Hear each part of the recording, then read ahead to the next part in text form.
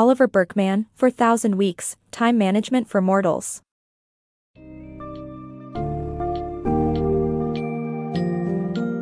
Embark on a journey to explore the elusive concept of time in Oliver Burkeman's insightful book, Four Thousand Weeks, Time Management for Mortals. Delve deep and challenge conventional notions of productivity and time management, as the author dismantles the illusion of mastering time. Gain a fresh perspective towards embracing the limitations imposed by our finite existence, and discover how to focus on what truly matters. Allow your thoughts on capitalism, work-life balance, and the modern time-centric mindset to be reshaped, and reconnect with your priorities as you navigate through this profound work.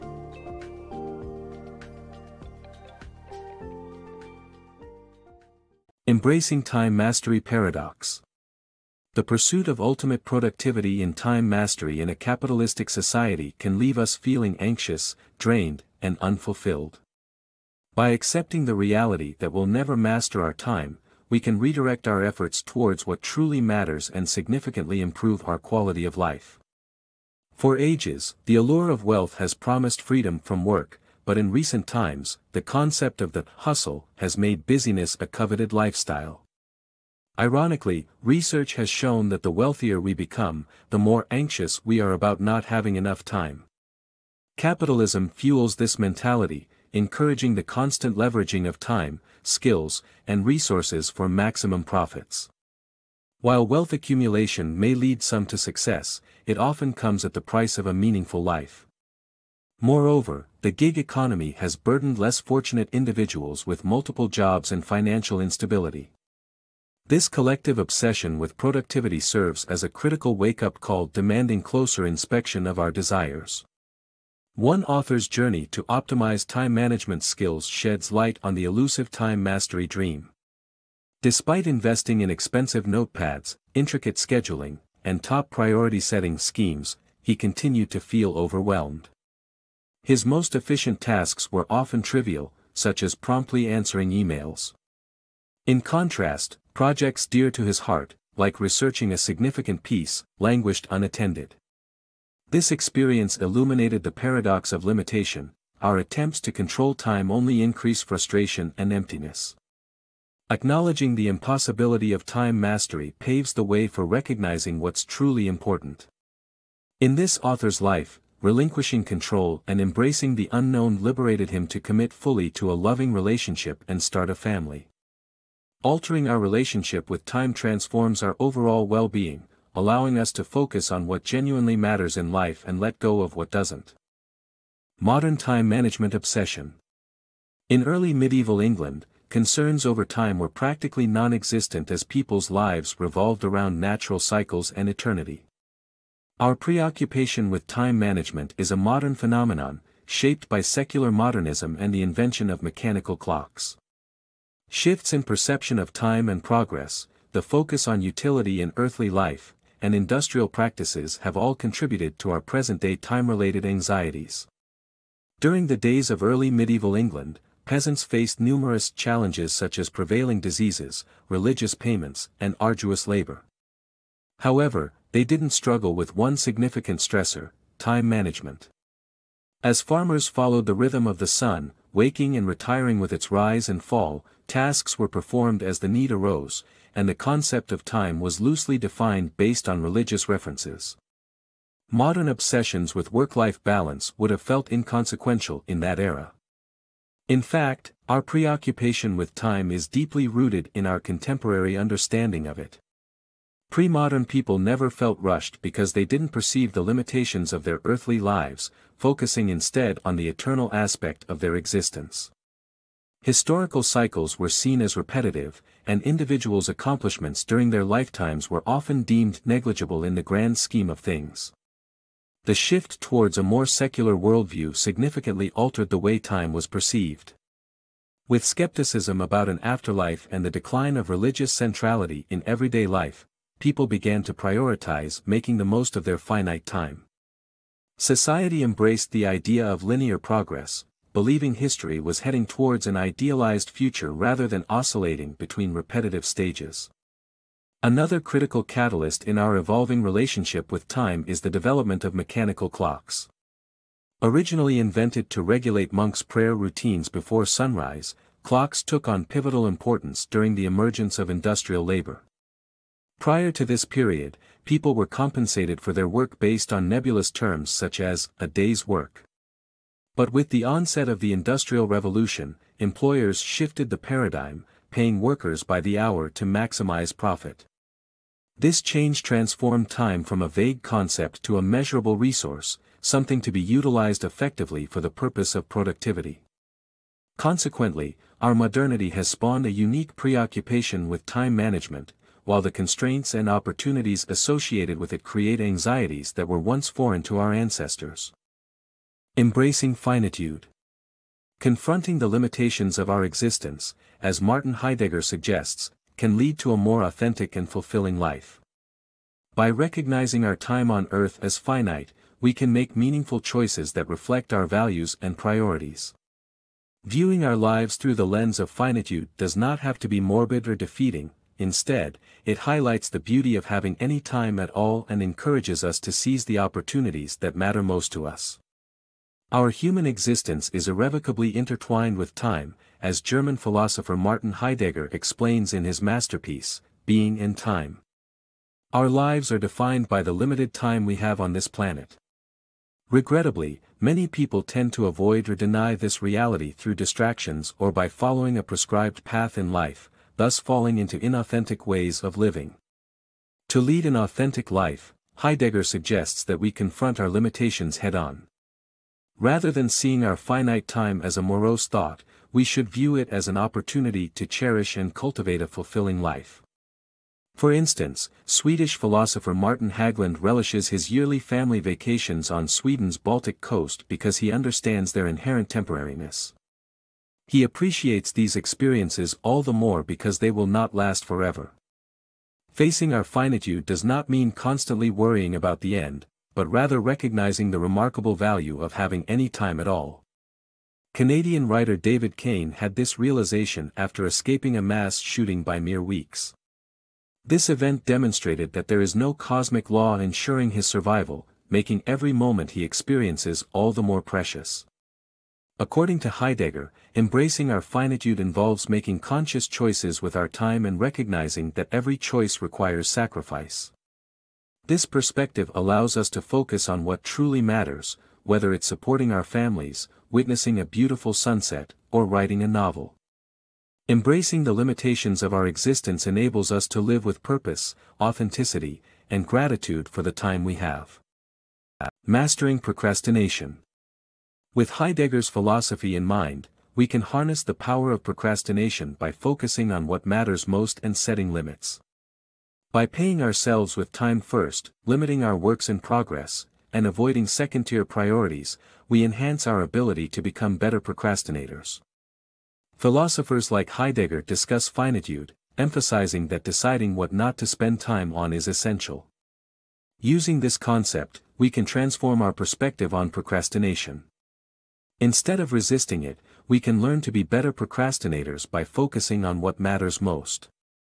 To harness the power of procrastination effectively, we must prioritize our limited goals. Begin by allocating time for crucial tasks, be it a creative endeavor or nurturing a significant relationship. Don't wait for free time, create space in your schedule by dedicating a specific hour each day or marking it in your calendar. Next, restrict your works in progress. It's tempting to juggle multiple projects, but doing so leads to a scattered effort that only delays completion. As you jump between tasks when boredom or difficulty strikes, crucial projects suffer. Focusing on one project at a time allows you to break it down into manageable portions, accomplishing a few tasks daily while progressing towards your goal. Lastly, resist second-tier priorities. We cannot accomplish everything, sacrifices must be made. Assess your priorities and discard any that don't align with your top 5 life goals. By saying no to less important activities or relationships, you free up time and energy to focus on what truly matters. Transforming the way we approach procrastination enables us to prioritize essential goals and effectively manage our limited time. By paying ourselves first with time, limiting ongoing projects, and steering clear of second-tier priorities, we can achieve a balanced, fulfilling life. Beyond distractions. Distractions define our reality and while some are necessary for survival, achieving our goals requires focus. Technology companies profit from capturing our attention and selling our data, but they also manipulate our perceptions and actions. Our tendency to become distracted is not solely caused by technology, engaging in meaningful work can cause discomfort due to our limitations. By acknowledging this discomfort, we can work through our resistance instead of succumbing to distractions. Life's unexpected twists and turns inevitably chip away at our attention, leaving us less time to achieve our goals. Since ancient Greece, philosophers have contemplated the human inclination towards distraction and its impact on our reality. Understanding the relationship between attention and distractions will allow you to unlock your true potential. While gaining complete control over your attention is impossible and undesirable, mastering focus is essential for achieving meaningful goals. Involuntary attention safeguards our survival, for instance, it allows you to quickly dodge an approaching bus. In contrast, mastering focus allows you to invest the necessary attention in realizing your dreams. Nowadays, digital distractions reign supreme. Technology companies not only consume our attention and sell our data to marketers, but they also exploit us through persuasive design, which keeps us hooked on screens. However, the real danger lies in social media's capability to distort our perceptions of reality. Influenced by technology, our understanding of what's important, feasible threats, and even our political adversaries is skewed. This affects our offline actions as well. For example, the author's obsession with Twitter began to infiltrate his thoughts even after logging off, causing him to miss precious moments with his newborn child. However, it's not just technology that makes us vulnerable to distractions. Engaging in meaningful work often causes discomfort. Ironic as it may seem, tasks we enjoy can make us uneasy. For instance, if you were to compose a book in a secluded cabin, you might still find it challenging to focus solely on your writing. The resulting boredom may prompt avoidance behaviors, such as napping or daydreaming. This discomfort arises because engaging in meaningful work requires confronting our limitations. In doing so, we may discover that we lack the aptitude required for the task. To escape these harsh realities, we often fall victim to distractions. By recognizing and accepting this dilemma, we can confront our discomfort head-on instead of yielding to every fleeting impulse. A proactive approach towards managing distractions paves the way for a more purposeful journey towards your goals. Embrace the present moment. We often find ourselves consumed by planning every little detail or dreaming of a better future. The key to truly living is to embrace the present moment, as ultimately, it's all that truly exists. While many aspects of life may be out of our control, focusing on the present allows us to appreciate the simple beauty life has to offer. Douglas Hofstadter, a cognitive scientist, coined the term Hofstadter's law in reference to the idea that tasks always seem to take longer than expected, even when attempting to account for this. This phenomenon highlights the reality that life is often unpredictable, and our best laid plans can still fail. In the pursuit of control, many schedule their time meticulously, hoping to avoid chaos. However, doing so often leads to an obsession with planning and living for the future, rather than embracing the present. This constant chase for a perfect future is a mindset referred to as, when I finally. People with this outlook believe that once they achieve a specific goal or milestone, their life will finally begin. However, this way of thinking can lead to a perpetual state of dissatisfaction and unhappiness. While it's understandable for someone struggling to make ends meet to dream of a better situation, most of us would benefit from focusing on the present moment. The concept of living in the present moment is exemplified in Robert Pirsig's book, Zen and the Art of Motorcycle Maintenance. Persig shares a personal anecdote of visiting the renowned Crater Lake in Oregon. As he stood before the breathtaking scenery, he felt disconnected from the moment, as the awe-inspiring beauty of the location was overshadowed by its status as a popular tourist attraction. This example demonstrates how the present moment can often be obscured by external expectations and distractions. To truly embrace the present, one must acknowledge that it's the only thing that genuinely exists. Instead of trying to master living in the now, accept that you're always in the present moment, no matter the circumstances. By refocusing your mindset and letting go of the need for control, you allow yourself to experience the wonders and joys that come from simply being present in life. So, whether you're admiring nature, spending time with loved ones, or simply enjoying a quiet moment, remember to appreciate the beauty of the here and now. Redefining leisure and happiness. Embrace leisure without the pressure of productivity by indulging in hobbies and spending quality time with loved ones. Both have intrinsic value, and can lead to a more fulfilled and content life. Walter Kerr's 1962 book, The Decline of Pleasure, highlights our growing inclination to utilize every moment of our free time for productive purposes, propelled by the remnants of the Industrial Revolution mindset. Factory owners promoted the idea of using time off to increase productivity at work, which was ironically exacerbated by labor reformers and union leaders who believed in workers utilizing their free time for self-improvement.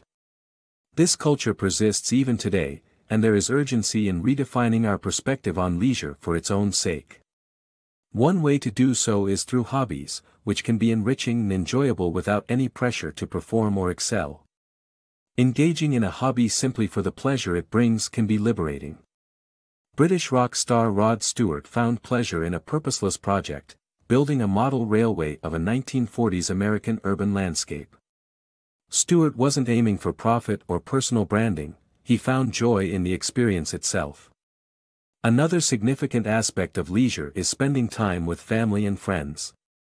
A Swedish study showed that antidepressant sales dropped significantly when more people took holidays, indicating individuals were happiest when they were able to share leisure time with others. This is an essential factor to consider for the growing digital nomad population, who work remotely from exotic locations.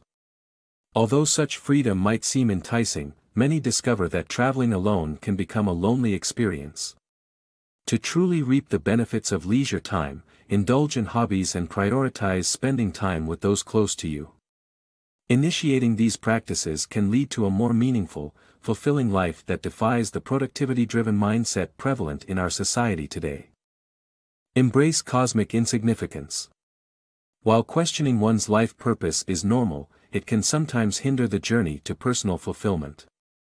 Instead of striving to find a grandiose life purpose, practice cosmic insignificance therapy, recognizing that our individual lives hold no significant meaning from a universal perspective.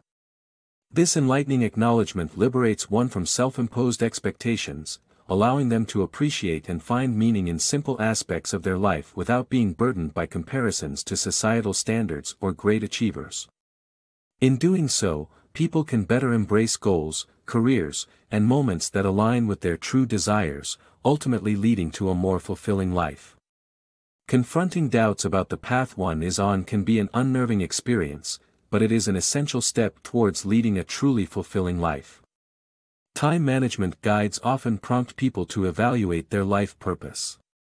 However, the stress of finding this lofty life purpose can sometimes overshadow the genuine enjoyment and satisfaction found in simpler, everyday experiences. With the onset of the COVID-19 pandemic, many were encouraged to reevaluate what truly matters in life. Unfortunately, the idea of determining our life's purpose can lead to overwhelming comparisons to notable figures, such as Mozart or Albert Einstein. Aiming to achieve at their level can make some people feel as if they are incapable of having a meaningful existence.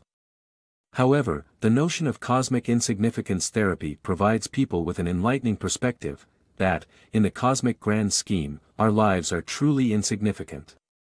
Although this idea might initially seem daunting, it bears a liberating truth that everyday acts can be just as meaningful as our grand aspirations.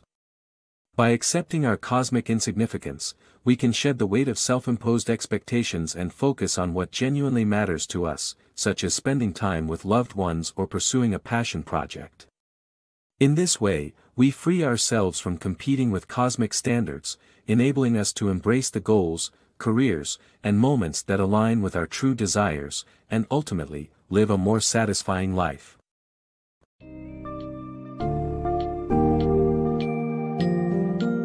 In conclusion, Four Thousand Weeks reminds us that the quest to master time is futile, and instead, we should appreciate the finitude of our lives, shifting focus towards what truly matters. The book challenges our ideas around time, capitalism, and work, urging us to reconsider our priorities. From Heidegger's emphasis on facing our limitations to learning the art of better procrastination and embracing the present moment, this book illuminates a path to building a more fulfilling life. So, take a step back, breathe, and rethink the way you approach your own 4,000 weeks, focusing on the activities and relationships that genuinely enrich your existence.